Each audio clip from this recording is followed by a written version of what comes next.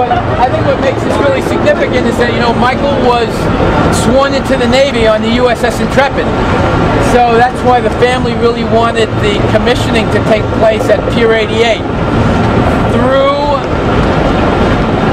the auspices of the mayor's office, Mayor Bloomberg and Ronnie Cohen, one of the deputy mayors, they made that happen with the Navy from Pier 88. We were really, I mean, you, we can't thank the mayor's office enough for all they did doing that. So Michael's boat will, ship will be commissioned right next to where he was sworn into the Navy.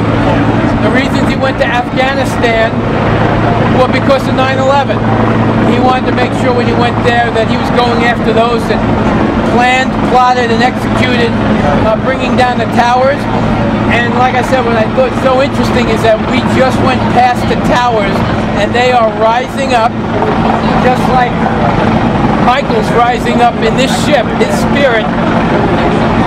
Uh, you can't keep the American people down.